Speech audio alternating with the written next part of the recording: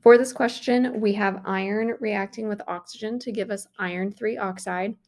We've got the starting amounts of both reactants, and we want to